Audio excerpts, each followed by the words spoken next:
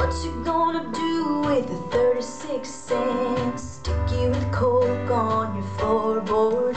When a woman on the street is huddled in the cold on a sidewalk, then trying to keep warm. Do you call her over, hand her the change, ask her a story?